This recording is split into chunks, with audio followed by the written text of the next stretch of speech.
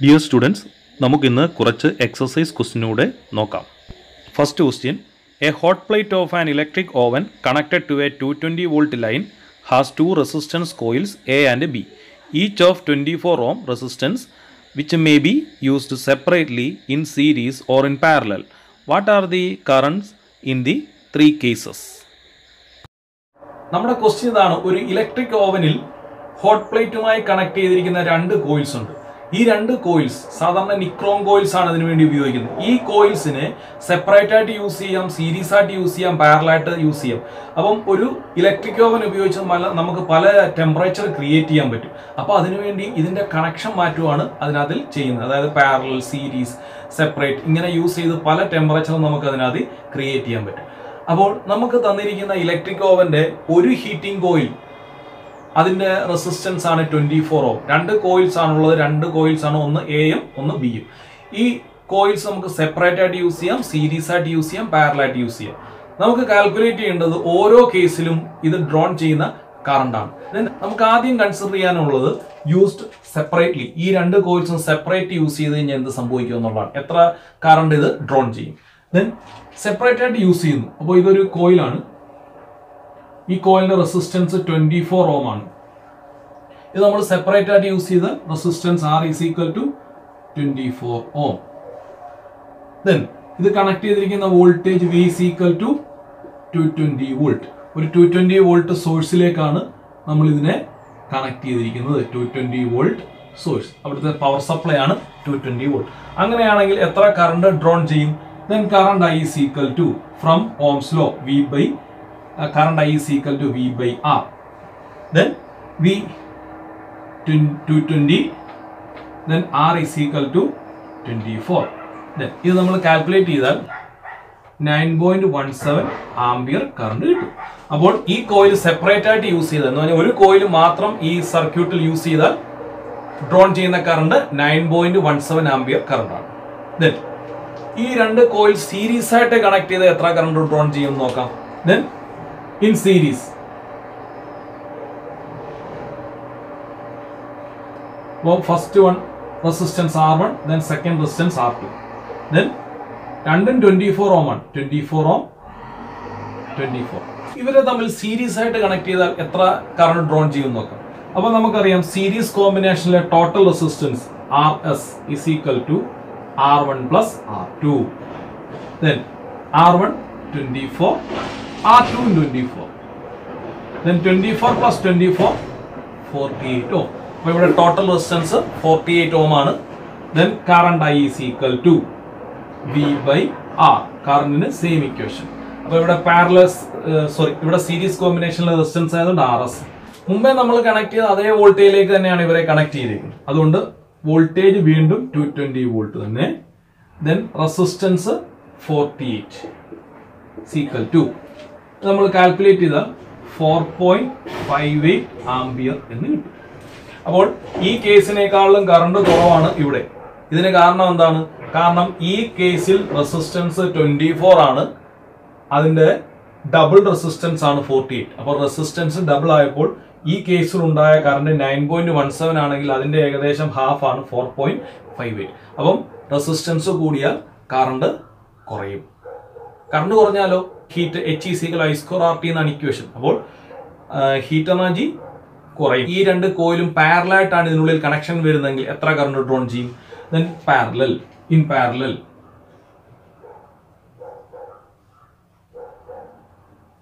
അപ്പോൾ twenty four ohm R one R two twenty four ohm ഇത് തമ്മിൽ പാരലായിട്ട് നമ്മൾ ടു ട്വന്റി വോൾട്ടിലേക്ക് കണക്ഷനിൽ വരുന്നു അപ്പോൾ നമുക്ക് ആദ്യം ഇവിടെ പാരലൽ കോമ്പിനേഷനിലെ ടോട്ടൽ റെസിസ്റ്റൻസ് കണ്ടുപിടിക്കണം. Then R P is equal to അപ്പോൾ ഇക്വേഷൻ ഇതാണ് പാരലൽ കോമ്പിനേഷനിൽ R one R two divide by R one plus R two then R one R two divide by R one plus R two is equal to twenty four into twenty four divide by twenty four plus twenty four is equal to twelve ohm calculate ചെയ്താൽ twelve ohm കിട്ടും.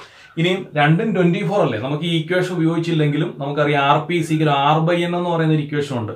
അതായത് എല്ലാം same resistance ആണെങ്കിൽ നമുക്ക് അത് ഉപയോഗിക്കാം. ഇവിടെ നോക്കിയാൽ രണ്ടും ട്വന്റി ഫോർ ആണ്. അതുകൊണ്ട് രണ്ട് ട്വന്റി ഫോർ അതുകൊണ്ട് ട്വന്റി ഫോർ ബൈ ടു എന്നെടുത്താലും ഇവിടെ ഇഫക്റ്റീവ് റെസിസ്റ്റൻസ് കിട്ടും. ട്വൽവ് ഓം Then, ഇനി ഇനി നമുക്ക് എത്ര കറണ്ട് ഡ്രോൺ ചെയ്ത് നോക്കാം. Current I is equal to same equation V by R ഇവിടെ പാരലൽ കോമ്പിനേഷൻ ആയതുകൊണ്ട് ആർ പി എന്ന് കൊടുക്കാം. Then voltage same two twenty voltage തന്നെയാണ് വീണ്ടും യൂസ് ചെയ്യുന്നത്. Then two twenty divide by R P twelve ഇത് നമ്മൾ കാൽക്കുലേറ്റ് ചെയ്താൽ eighteen point three three ampere എന്ന് കിട്ടും. അപ്പോൾ ഇവിടെ ഡ്രോൺ ചെയ്ത current eighteen point three three ampere അപ്പോൾ നമ്മൾ ഈ മൂന്ന് കേസ് ഒന്ന് നോക്കാം. അതായത് സെപ്പറേറ്റ് ആയിട്ട് യൂസ് ചെയ്തപ്പം ട്വന്റി ഫോർ ഓം ആണ് റെസിസ്റ്റൻസ് അപ്പോൾ കറണ്ട് കുറച്ചേ ഡ്രോൺ ചെയ്തുള്ളൂ. ഇനി സീരീസ് ആയിട്ട് യൂസ് ചെയ്തപ്പോൾ റെസിസ്റ്റൻസ് വീണ്ടും കൂടി. അപ്പോൾ കറണ്ട് ഇതിലും കുറച്ചാണ് കൺസ്യൂം ചെയ്തത്. ദെൻ പാരലായിട്ട് കണക്ട് ചെയ്തപ്പോഴോ? റെസിസ്റ്റൻസ് വളരെ കുറഞ്ഞു. കറണ്ട് വീണ്ടും കൂടി. അപ്പോൾ അങ്ങനെയാണെങ്കിൽ നമുക്ക് പറയാം. നമുക്ക് ഇവിടെ കാൽക്കുലേറ്റ് ചെയ്യാൻ പറഞ്ഞിട്ടില്ലെങ്കിലും ഈ ഹീറ്റും കൂടെ നമുക്ക് ഇവിടെ ഒന്ന് പരിഗണിക്കാം. അപ്പോൾ ഏറ്റവും കൂടുതൽ ഹീറ്റ് ഈ ഓവനിൽ ഉണ്ടാകുന്നത് ഈ കോയിൽസ് പാരലായിട്ട് കണക്ഷന് വരുമ്പോഴാണ്. ഓവനിൽ ഒരു നോബ് ഉണ്ട് അത് നമ്മൾ പിടിച്ച് തിരിച്ചു കഴിയുമ്പോൾ അതിനകത്തിലെ ടെമ്പറേച്ചർ ചേഞ്ച് ചെയ്യും. അപ്പോൾ ഈ ടെമ്പറേച്ചർ ചേഞ്ച് ചെയ്യുമ്പോൾ അതിനകത്തിൽ നടക്കുന്ന പ്രോസസ്സുകൾ ഇതാണ്. അതായത് കോയിലുകൾ സെപ്പറേറ്റ് ആയിട്ട് യൂസ് ചെയ്യാം സീരീസ് ആയിട്ട് കണക്ഷനിൽ വരാം പാരലായിട്ട് കണക്ഷനിൽ വരാം. അപ്പോൾ ഈ അതിനുള്ളിലുള്ള കണക്ഷൻ അങ്ങോട്ടും ഇങ്ങോട്ടും ഒക്കെ ചേഞ്ച് ചെയ്യുന്നതനുസരിച്ച് അതിൽ പ്രൊഡ്യൂസ് ചെയ്യുന്ന ഹീറ്റും മാറിക്കൊണ്ടിരിക്കും. അപ്പോൾ കൂടുതൽ കറണ്ട് ഫ്ലോ ചെയ്ത് കഴിഞ്ഞാൽ കൂടുതൽ ഹീറ്റ് ഉണ്ടാവും. കറണ്ട് ഫ്ലോ ചെയ്യുന്നത് കുറവാണെങ്കിൽ കുറച്ച് ഹീറ്റ് ഉണ്ടാകത്തുള്ളൂ അപ്പോൾ അങ്ങനെ നമുക്ക് ആ നോബിൽ പിടിച്ച് തിരിച്ച് അതിനകത്തിലെ ഉണ്ടാകുന്ന ഹീറ്റ് നമുക്ക് അഡ്ജസ്റ്റ് ചെയ്ത് എടുക്കാം Then next question, compare the power used in the 2 ohm resistor in each of the following circuits. First circuit, a 6 volt battery in series with 1 ohm and 2 ohm resistors. And second circuit, a 4 volt battery in parallel with 12 ohm and 2 ohm resistors. നമ്മുടെ question ഇതാണ് നമുക്ക് രണ്ട് സർക്യൂട്ടുകൾ തന്നിട്ടുണ്ട് first circuit ഇത് second circuit ഇത്. ഈ രണ്ട് സർക്യൂട്ടുകളിലും ഈ ടു ഓം റെസിസ്റ്റർ കൺസ്യൂം ചെയ്യുന്ന പവർ അല്ലെങ്കിൽ യൂസ് ചെയ്യുന്ന പവർ നമ്മൾ കാൽക്കുലേറ്റ് ചെയ്യണം. ഫസ്റ്റ് കേസ് നമുക്ക് സീരീസ് കോമ്പിനേഷൻ ആണ് സീരീസ് കോമ്പിനേഷൻ പവർ കാൽക്കുലേറ്റ് ചെയ്യാൻ വേണ്ടി നമ്മൾ സാധാരണ യൂസ് ചെയ്യുന്ന equation power P is equal to I square R എന്ന് പറയുന്ന ഇക്വേഷനാണ് അപ്പൊ അങ്ങനെയാണെങ്കിൽ ഈ സർക്യൂട്ടിലുള്ള കറണ്ട് നമ്മൾ ആദ്യം കാൽക്കുലേറ്റ് ചെയ്യണം. കറണ്ട് കാൽക്കുലേറ്റ് ചെയ്താൽ നമുക്ക് ഏത് റെസിസ്റ്ററിന്റെ പവറാണ് വേണ്ടത്? ഈ റെസിസ്റ്ററിന്റെ പവറാണ് നമുക്ക് അതിന്റെ റെസിസ്റ്റൻസ് ആർ ടു ആയതുകൊണ്ട് ഐ സ്ക്വയർ ആർ ടു എന്ന് പറയുന്ന ഇക്വേഷൻ യൂസ് ചെയ്താൽ ഇതിന്റെ പവർ നമുക്ക് കിട്ടും. അപ്പോൾ ആദ്യം നമുക്ക് കറണ്ട് വേണം. അപ്പോൾ വോൾട്ടേജ് ഉണ്ട് റെസിസ്റ്റേഴ്സും ഉണ്ട്. അപ്പം കറണ്ട് എങ്ങനെ കണ്ടുപിടിക്കാം? Current കണ്ടുപിടിക്കണമെങ്കിൽ current I is equal to V by R ഇതാണ് കറണ്ടിന്റെ ഇക്വേഷൻ അപ്പോൾ വി എന്ന് പറയുന്നത് ടോട്ടൽ വോൾട്ടേജ് ആണ് സിക്സ് വോൾട്ട് ആർ എന്ന് പറയുന്നത് ടോട്ടൽ റെസിസ്റ്റൻസ് ആണ്. അങ്ങനെയാണെങ്കിൽ ഇവിടെ രണ്ട് റെസിസ്റ്റേഴ്സും സീരീസ് ആയിട്ട് കണക്ട് ചെയ്തിരിക്കുകയാണ്. സീരീസ് ആയിട്ട് കണക്ട് ചെയ്താൽ ടോട്ടൽ റെസിസ്റ്റൻസ് കണ്ടുപിടിക്കാൻ R S is equal to R one plus R two എന്ന് ചെയ്താൽ മതി. അപ്പൊ അങ്ങനെയാണെങ്കിൽ ഇവിടെ R one one ohm R two two ohm then three ohm ആണ് ഈ സർക്യൂട്ടിലെ ടോട്ടൽ റെസിസ്റ്റൻസ് അങ്ങനെയാണെങ്കിൽ ഇവിടെ കൂടെ ഫ്ലോ ചെയ്യുന്ന ടോട്ടൽ കറണ്ട് എല്ലാവർക്കും ഒരേ കറണ്ട് ആണ് സീരീസ് കോമ്പിനേഷൻ ആയതുകൊണ്ട്. അതുകൊണ്ട് total current I is equal to V by R S എന്ന് നമുക്ക് ചെയ്യാം. Then here V applied voltage എന്ന് പറയുന്നത് സിക്സ് വോൾട്ട് ആണ്. Six divide by R S resistance series combination three then six by three two ampere അപ്പൊ ഈ സർക്യൂട്ടിലൂടെ flow ചെയ്യുന്ന കറണ്ട് ടു ആംബിയർ ആണ്. അങ്ങനെയാണെങ്കിൽ പവർ പി സീക്കൽ അതായത് നമുക്ക് ഈ ടു ഓം റെസിസ്റ്റർ കൺസ്യൂം ചെയ്യുന്ന പവറാണ് വേണ്ടത്. അതുകൊണ്ട് ടു ഓം റെസിസ്റ്ററിലൂടെയുള്ള കറണ്ടും അതിന്റെ റെസിസ്റ്റൻസും കൂടെ വേണം ഈ ഇക്വേഷന് നമ്മൾ യൂസ് ചെയ്യാൻ. ഇനി രണ്ടും സീരീസ് ആയതുകൊണ്ട് സെയിം കറണ്ടാണ് പിന്നെ റെസിസ്റ്റൻസ് ഈ ടു ഓമിന്റെ എടുക്കണം. Then power P is equal I square R two R two എന്ന് പറഞ്ഞാൽ ഈ സെക്കൻഡ് റെസിസ്റ്ററിന്റെ resistance then current two square into R two two ohm is equal to ടുവിന്റെ square four into two eight watts അപ്പോൾ first സർക്യൂട്ടിൽ two ohm resistor consume ചെയ്യുന്ന അല്ലെങ്കിൽ use ചെയ്യുന്ന പവർ എയ്റ്റ് വാട്ട്സ് ആണ്. അതുപോലെ തന്നെ നമ്മൾ സെക്കൻഡ് സർക്യൂട്ടിലൂടെ നോക്കാം. സെക്കൻഡ് സർക്യൂട്ടിൽ ഇത് പാരലൽ കോമ്പിനേഷൻ ആണ്. പാരലൽ കോമ്പിനേഷനിൽ നമുക്ക് പവർ കണ്ടുപിടിക്കാൻ ഈസി ആയിട്ടുള്ള equation power P is equal to V square by R ആണ്. കാരണം പാരലൽ കോമ്പിനേഷൻ സെയിം വോൾട്ടേജ് ആണ്. അതുകൊണ്ടാണ് ഈ ഇക്വേഷൻ യൂസ് ചെയ്യുന്നത്. സീരീസ് കോമ്പിനേഷനിൽ സെയിം കറണ്ട് ആയതുകൊണ്ടാണ് കറണ്ട് വെച്ചിട്ടുള്ള ഇക്വേഷൻ പവറിന് വേണ്ടി നമ്മൾ യൂസ് ചെയ്യുന്നത്. അപ്പോൾ ഇവിടെ വോൾട്ടേജ് തന്നിട്ടുണ്ട്. കാരണം പാരലൽ കോമ്പിനേഷൻ രണ്ടുപേർക്കും ഒരേ വോൾട്ടേജ് ആണ്. അതുകൊണ്ട് സെയിം വോൾട്ടേജ് ആണ് രണ്ടുപേർക്കും കിട്ടുന്നത്. ഇനിയും റെസിസ്റ്റൻസ് ആരുടെ ഏത് റെസിസ്റ്ററിന്റെ പവറാണ് കണ്ടുപിടിക്കേണ്ടത്? ടു ഓമിന് അതിനെ നമ്മൾ ആർ ടു എന്ന് എടുത്തേക്കും. Then R two is equal to two ohm അപ്പൊ അങ്ങനെയാണെങ്കിൽ power P is equal voltage ഇവിടെ ഫോർ വോൾട്ട് ആണ് ഈ സർക്യൂട്ടിൽ അപ്ലൈ ചെയ്തിരിക്കുന്ന വോൾട്ടേജ് അങ്ങനെയാണെങ്കിൽ ഇവിടെ power P is equal V square by R എന്നാണ്. നമ്മൾ സെക്കൻഡ് റെസിസ്റ്റർ ആയതുകൊണ്ട് ആർ ടു എന്ന് കൊടുത്തു. P is equal V square by R two then V എന്ന് പറയുന്നത് ഫോർ ആണ്. Then four square divided by R two R two എന്ന് പറയുന്നത് എത്രയാണ്? Two ohm. Then four square sixteen by two is equal to eight watts അപ്പോൾ രണ്ടാമത്തെ കേസിലും ഈ ടു ഓം റെസിസ്റ്റർ കൺസ്യൂം ചെയ്യുന്ന പവർ എയ്റ്റ് വാട്ട്സ് തന്നെയാണ്. ഫസ്റ്റ് കേസിലും എന്ത് തന്നെയായിരുന്നു? എയ്റ്റ് വാട്ട്സ് തന്നെയായിരുന്നു. അപ്പം ഈ രണ്ട് കേസ് തമ്മിലുള്ള കമ്പാരിസൺ ആണ് നമുക്ക് ആവശ്യമായിട്ടുള്ളത്. അപ്പം നമുക്ക് നോക്കാം. അതായത് ഇവിടെ സിക്സ് വോൾട്ട് കൊടുത്തപ്പോഴാണ് ഈ two ohm resistor eight watt power consume ചെയ്തത്. പക്ഷെ ഇവിടെ ഫോർ വോൾട്ട് കൊടുത്തപ്പോൾ തന്നെ ഈ two ohm resistor eight watts power consume ചെയ്തു. അത് കൂടാതെ തന്നെ ഒരു ട്വൽവ് വോൾട്ടിന് പാരലമായിട്ടുമുണ്ട് എന്ന് പറഞ്ഞാൽ പാരലൽ കോമ്പിനേഷനിൽ ഡിവൈസുകൾക്ക് കൂടുതൽ വോൾട്ടേജ് കിട്ടും. അതുകൊണ്ട് അതുകൊണ്ട് കൂടുതൽ പവർ കൺസ്യൂം ചെയ്യാൻ പറ്റും. എന്നാൽ ഈ സർക്യൂട്ടിൽ സിക്സ് വോൾട്ട് കൊടുത്തെങ്കിലും ഇതിലും കൂടുതൽ വോൾട്ടേജ് ആണ് ഇവിടെ കൊടുത്തേക്കുന്നത്. എന്നിട്ടും ഇയാൾക്ക് എയ്റ്റ് വാട്ട്സ് പവർ മാത്രമേ കൺസ്യൂം ചെയ്യാൻ പറ്റുള്ളൂ. എന്ന് പറഞ്ഞാൽ നമ്മൾ പാരലായിട്ട് ഡിവൈസുകളെ കമ്പൈൻ ചെയ്യുന്നതാണ് നല്ലത്. കാരണം പാരലായിട്ട് കമ്പൈൻ ചെയ്താൽ കൊടുക്കുന്ന വോൾട്ടേജ് എല്ലാവർക്കും കിട്ടും. അതുകൊണ്ട് എല്ലാവർക്കും ആ വോൾട്ടേജ് യൂസ് ചെയ്യാനും അതുപോലെ തന്നെ വർക്ക് ചെയ്യാനും പറ്റും. അല്ലേ? ഇപ്പോൾ ഞാനൊരു കാര്യം ഒരാടൊക്കെ പറയുന്നു അത് മറ്റൊരാടൊക്കെ പറയുന്നു. ഇങ്ങനെ ട്രാൻസ്ഫറായി ട്രാൻസ്ഫറായി പോകുന്നതിനേക്കാളും നല്ലത് എല്ലാവരെയും കൂടെ ഞാൻ ഒരുമിച്ച് വിളിച്ച് ഈ കാര്യം എന്ന് പറയുന്നതാണ്. കാരണം എല്ലാവർക്കും ഒരുപോലെ ഇത് കിട്ടും. അല്ലെങ്കിൽ എന്ത് സംഭവിക്കും? ചെല്ലുമ്പോൾ അല്ലെങ്കിൽ ഓരോരുത്തരും മറിഞ്ഞു മറിഞ്ഞ് ഈ കാര്യങ്ങൾ അറിഞ്ഞറിഞ്ഞ് വരുമ്പോൾ വേറെ രീതിയിലായി പോകും. എന്ന് പറഞ്ഞതുപോലെ തന്നെയാണ് നമ്മൾ ഡിവൈസുകളെ പാരലായിട്ട് കണക്ട് ചെയ്ത് എല്ലാ ഡിവൈസിനും ഒരേ സമയം ഈ വോൾട്ടേജ് പൊട്ടൻഷ്യൽ ഡിഫറൻസ് കിട്ടും. അതുകൊണ്ട് എല്ലാവർക്കും നന്നായിട്ട് വർക്ക് ചെയ്യാൻ പറ്റും. പക്ഷേ സീരീസ് ആയിട്ട് കണക്ട് ചെയ്ത് കഴിഞ്ഞാൽ ഈ കൊടുക്കുന്ന സിക്സ് വോൾട്ട് ഡിവൈഡ് ചെയ്തിട്ടാണ് ഇവർക്ക് കിട്ടുന്നത്. ഇയാൾക്ക് കിട്ടുന്ന വോൾട്ടേജ് ആയിരിക്കത്തില്ല ഇയാൾക്ക് കിട്ടുന്നത്. അപ്പോൾ പലർക്കും പല പൊട്ടൻഷ്യൽ ഡിഫറൻസ് ആണ് കിട്ടുന്നത്. അതുകൊണ്ട് വർക്കിംഗ് അത്ര സ്മൂത്ത് ആയിരിക്കത്തില്ല അതുകൊണ്ട് നമ്മൾ ഡിവൈസുകളെല്ലാം എങ്ങനെ കണക്ട് ചെയ്യണം? പാരലായിട്ട് വേണം കണക്ട് ചെയ്യാൻ. പാരലായിട്ട് കണക്ട് ചെയ്തപ്പോൾ ഫോർ വോൾട്ട് കൊടുത്തപ്പം തന്നെ ഇയാൾക്ക് എയ്റ്റ് വാട്ട്സ് പവർ കൺസ്യൂം ചെയ്യാൻ പറ്റി. നമ്മുടെ അടുത്ത ക്വസ്റ്റ്യൻ എന്താണെന്ന് നോക്കാം. Which use more energy a two fifty watts T V set in one hour or a one thousand two hundred watts toaster in ten minutes ഈ T V സെറ്റിന്റെ power എത്ര നോക്കാം. ടു ഫിഫ്റ്റി വാട്ട്സ് ആണ് ഈ T V സെറ്റിന്റെ power power P equal to two fifty watts ഇത് work ചെയ്യുന്ന time one hour ആണ്. Then time T equal to one hour നമുക്കിതിനെ എസ് ഐ യൂണിറ്റിലോട്ട് മാറ്റണം. വൺ അവർ എന്ന് പറഞ്ഞാൽ എത്ര സെക്കൻഡ് ആണ്? ഒരു അവർ എന്ന് പറഞ്ഞാൽ three thousand six hundred second ആണ്. Then equal to three thousand six hundred second then energy ആണ് കണ്ടുപിടിക്കേണ്ടത്. Then energy is equal to നമ്മൾ എനർജിക്ക് ഒരു ഇക്വേഷൻ പഠിച്ചു. എനർജി എന്ന് പറഞ്ഞാൽ എന്താണ്? Power into time power into time അതായത് പവർ എന്ന് പറഞ്ഞാൽ energy by time or work by time ആണ്. അപ്പൊ എനർജി എന്ന് പറഞ്ഞാൽ എന്താണ്? Power into time then power P is equal to two fifty into time T is equal to three thousand six hundred നമ്മളിത് calculate ചെയ്താൽ nine one two three four five then nine lakh joule ഇത്രയും എനർജിയാണ് ഒരു മണിക്കൂർ കൊണ്ട് ഈ T V set consume ചെയ്യുന്നത്. Then ഇനിയും ടോസ്റ്ററിന്റെ കേസ് നമുക്ക് നോക്കാം. ടോസ്റ്ററിന്റെ power one thousand two hundred watts ആണ്.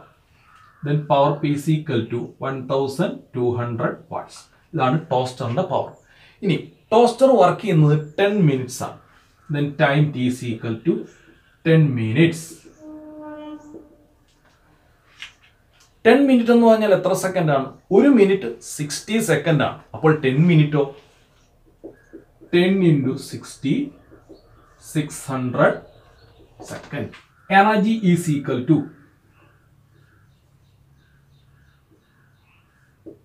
energy is equal to power into time power into time. Then here power 1200 watts into time 600 second.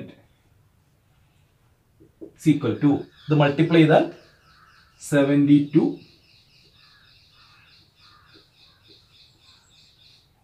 then ഇത് നമ്മൾ കാൽക്കുലേറ്റ് ചെയ്താൽ seven lakh twenty thousand joule നോക്കാം. ഇത് തമ്മിലൊന്ന് compare ചെയ്ത് നോക്കി അതായത് T V set ഒരു മണിക്കൂറാണ് വർക്ക് ചെയ്തത്. അപ്പോൾ അത് nine lakh joules energy consume ചെയ്തു. ടോസ്റ്റർ വർക്ക് ചെയ്ത് ടെൻ മിനിറ്റ് ആണ്. ടെൻ മിനിറ്റ് വർക്ക് ചെയ്തപ്പോൾ തന്നെ ആ toaster seven lakh twenty thousand joule energy consume ചെയ്തു. ഏറ്റവും കൂടുതൽ എനർജി കൺസ്യൂം ചെയ്ത ആരാണ്? ടി വി ആണ് ഏറ്റവും കൂടുതൽ എനർജി കൺസ്യൂം ചെയ്ത് നയൻ ലാക്ക് ബട്ട് അത് വർക്ക് ചെയ്ത് വൺ അവർ ആണ് നമ്മൾ ഓർക്കണം. അപ്പോൾ പവർ കൂടിയ ഡിവൈസുകൾ ചെറിയ ടൈം വർക്ക് ചെയ്താൽ തന്നെ ഒത്തിരി എനർജി അത് കൺസ്യൂം ചെയ്യും. എന്നാൽ പവർ കുറഞ്ഞ ഡിവൈസുകൾ കുറേ നേരം വർക്ക് ചെയ്താൽ അധികം എനർജി കൺസ്യൂം ചെയ്യുള്ളൂ. ഇവിടെ കൂടുതൽ എനർജി കൺസ്യൂം ചെയ്ത് ടി വി സെറ്റാണ് പക്ഷെ അത് ഒരു മണിക്കൂർ വർക്ക് ചെയ്തപ്പോഴാണ് ഇത്ര എനർജി കൺസ്യൂം ചെയ്തത്. Then next question an electric heater of resistance eight ohm draws fifteen ampere from the service mains two hours calculate the rate at which heat is developed in the heater. നമ്മുടെ question ഇതാണ് ഒരു electric heater ഹീറ്ററിന്റെ resistance eight ohm ആണ്. ഇതൊരു service മെയിനിൽ നിന്നും fifteen ampere current drone ചെയ്യുന്നു രണ്ട് മണിക്കൂർ നേരത്തേക്ക്. അങ്ങനെയാണെങ്കിൽ നമ്മൾ കാൽക്കുലേറ്റ് ചെയ്യേണ്ടത് rate at which heat is developed in this coil or heater ഹീറ്ററിൽ ഒരു സെക്കൻഡിൽ എത്ര ഹീറ്റ് എനർജി ഡെവലപ്പ് ചെയ്യും. അതാണ് റേറ്റ് ഓഫ് ഹീറ്റ് നമ്മളിപ്പോൾ ഒരു കടയിലൊക്കെ ചെന്ന് ചോദിക്കും ബുക്കിന്റെ റേറ്റ് എത്രയാണ്? ബുക്കിന്റെ റേറ്റ് എന്ന് പറഞ്ഞാൽ എന്താണ്? ഒരു ബുക്കിന് എത്ര രൂപ എന്നാണ് അതിന്റെ മീനിങ് അതുപോലെ തന്നെ rate at which heat developed എന്ന് പറഞ്ഞാൽ ഒരു സെക്കൻഡിൽ എത്ര ഹീറ്റ് ഉണ്ടാവും. നമുക്കറിയാം ഒരു സെക്കൻഡിൽ ഉണ്ടാകുന്ന ഹീറ്റ് ഹീറ്റ് എന്ന് പറഞ്ഞാൽ എന്താണ്? എനർജിയാണ് ഒരു സെക്കൻഡിൽ കൺസ്യൂം ചെയ്യുന്ന എനർജി അല്ലേ നമ്മൾ പവർ എന്ന് വിളിക്കുന്നത്? അതുകൊണ്ട് ഒരു സെക്കൻഡിൽ ഡെവലപ്പ് ചെയ്യുന്ന ഹീറ്റ് എന്ന് പറഞ്ഞാൽ പവറിനെയാണ് ഉദ്ദേശിക്കുന്നത്. അതുകൊണ്ട് ഈ ക്വസ്റ്റ്യനിൽ നമ്മൾ പവർ കാൽക്കുലേറ്റ് ചെയ്താൽ മതി. Then rate of heat developed is equal to power അപ്പോൾ നമ്മുടെ ക്വസ്റ്റ്യനിൽ റെസിസ്റ്റൻസ് ഓഫ് ദി കോയിൽ കോയിലിന്റെ റെസിസ്റ്റൻസ് തന്നിട്ടുണ്ട്. ഹീറ്ററിന്റെ കോയിലിന്റെ റെസിസ്റ്റൻസ് തന്നിട്ടുണ്ട്. എത്രയാണ്? എയ്റ്റ് ഓം ഈ കോയിൽ ഡ്രോൺ ചെയ്ത കറണ്ട് നമ്മൾ ഇതൊരു സപ്ലൈയിലേക്ക് കണക്ട് ചെയ്തപ്പോൾ ഇത് ഡ്രോൺ ചെയ്ത current fifteen ampere then current I is equal to fifteen ampere ഈ കോയിലിന്റെ റെസിസ്റ്റൻസ് ആണ് എയ്റ്റ് ഓ അങ്ങനെയാണെങ്കിൽ നമുക്കറിയാവുന്നതാണ് പവർ പി സീക്വൽ ടു കറണ്ടും റെസിസ്റ്റൻസും വെച്ചിട്ട് പവറിന് ഇക്വേഷൻ ഉണ്ട്. Power P is equal to I square R I square R then I fifteen then fifteen square into R resistance R eight ohm then into eight then fifteen square two twenty five into eight equal to one thousand eight hundred watts or joule per second എന്നും എഴുതാം. അതായത് ഈ ഡിവൈസിൽ ഒരു സെക്കൻഡിൽ ഉണ്ടാകുന്ന heat one thousand eight hundred joule per second ആണ്. അല്ലെങ്കിൽ one thousand eight hundred one അപ്പോൾ ഈ ക്വസ്റ്റിനകത്തിൽ ഇത് വർക്ക് ചെയ്യുന്ന ടൈം തന്നിട്ടുണ്ട്. ടൈം ടു അവർ ആയിരുന്നു. പക്ഷേ ഈ പ്രോബ്ലത്തിൽ ടൈമിന്റെ ആവശ്യമില്ല. കാരണം റേറ്റ് ഓഫ് ഹീറ്റ് എന്ന് പറയുന്നത് ഒരു സെക്കൻഡിൽ പ്രൊഡ്യൂസ് ചെയ്യുന്ന ഹീറ്റാണ് അപ്പോൾ അവിടെ സമയം വേണ്ട ഒരു സെക്കൻഡാണ് നമ്മളവിടെ ഉദ്ദേശിക്കുന്നത്. അതുകൊണ്ട് ഈ പ്രോബ്ലം ചെയ്യാൻ നമുക്ക് ആകെ വേണ്ടത് ഇതിന്റെ റെസിസ്റ്റൻസും കറണ്ടും മാത്രം മതി. അപ്പോൾ നമ്മൾ ഇലക്ട്രിസിറ്റി എന്ന് പറയുന്ന ചാപ്റ്റർ ഇവിടെ അവസാനിക്കുകയാണ്. എന്തെങ്കിലും ഡൗട്ട് ഉണ്ടെങ്കിൽ നിങ്ങൾ എന്നെ കോൺടാക്ട് ചെയ്യുക.